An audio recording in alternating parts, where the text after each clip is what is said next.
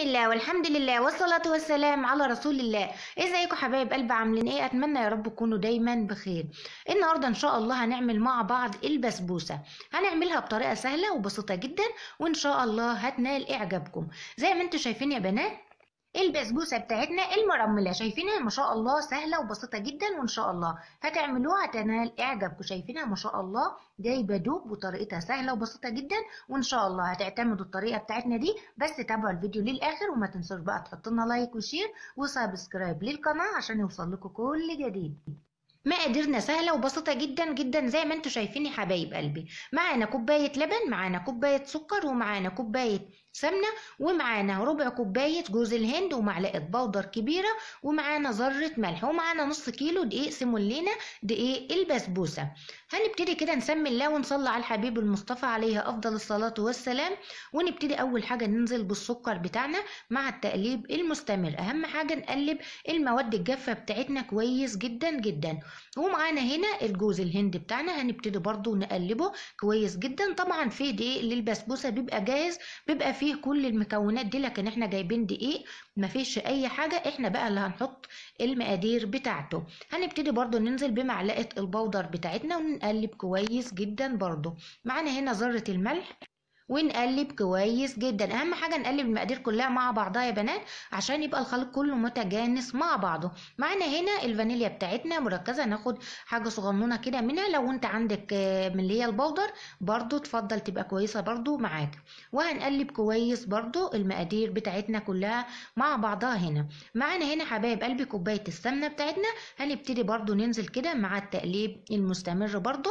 بس بقى في الخطوة دي بقى أنا هركن المعلقة بتاعتي واشتغل هشتغل بايدي هتعملي إيه؟ هنبس الخليط بتاعنا كله مع بعضه عشان حباية الدقيق بتاعتنا تتغلف بالمقادير كلها وبالسمنة بتاعتنا تبقى عاملة زي حباية الرمل معاكي امشي على الخطوات دي وإن شاء الله هتبقى طريقة ناجحة وهتعتمديها هتكون سهلة وبسيطة جدا.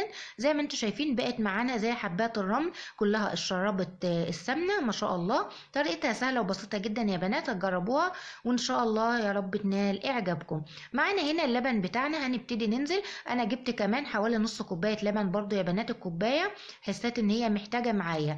أهم حاجة الخليط بتاعك يبقى معاكي زي ما أنتم شايفينه كده شايفين ما شاء الله يكون معاكي سايح كده عشان تبقى مرملة ويبقى طعمها جميل. زي ما أنتم شايفين زي ما قلت لكم جبت كوباية آه كوباية ونص لبن.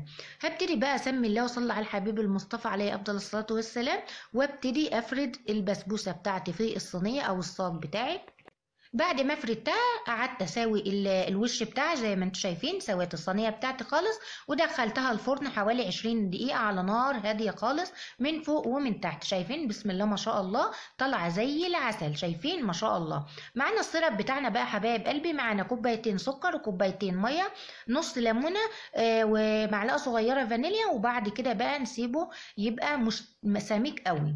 يبقى خفيف شوية عشان البسبوسة بتاعتنا تتشرب. أهم حاجة نكتر ال syrup يا بنات عشان تكون سايحة معاكم كده وطعمها جميل شبه الجاهزة بالظبط. لو أنت حابة تحط على الوش مكسرات أو تحط فول براحتك. بس أنا حبيتها إن هي تكون كده. هنبتدي نقطعها مع بعض كده شايفينها؟ بسم الله ما شاء الله. طالعة معاكي الخرطة بخرطتها وما شاء الله شايفينها؟